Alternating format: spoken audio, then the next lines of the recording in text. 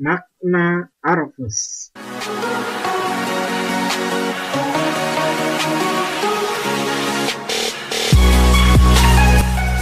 Makna kata Arfus Sebenarnya kata Arfus bukanlah kata asli bahasa Arab, tetapi kata jadi-jadian atau kata serapan.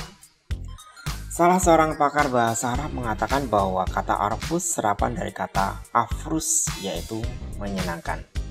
Dilihat dari isim masjid Afala. Asli suku katanya Faroza.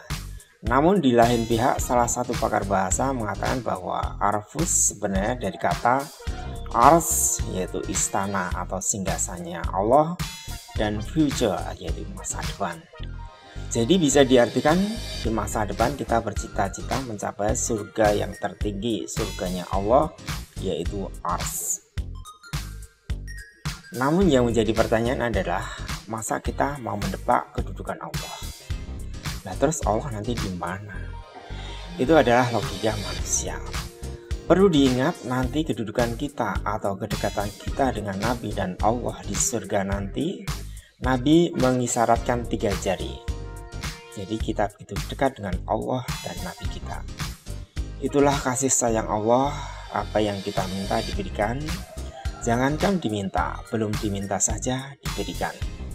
Dan untuk menciptakan surga-surga yang lain bagi Allah semudah membalikkan telapak tangan.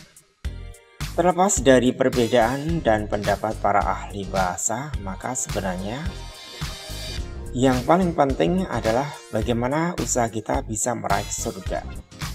Surga adalah puncak kenikmatan yang berharga mahal.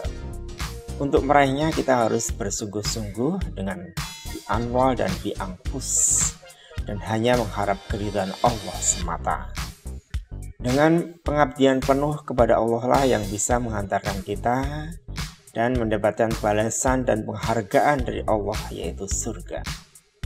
Dengan demikian kita di sana bisa memberi masing-masing istana surga dengan nama yang kita sukai.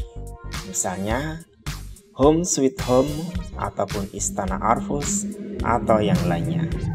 Demikian penjelasan saya, mudah-mudahan bisa membantu. Assalamualaikum warahmatullahi wabarakatuh.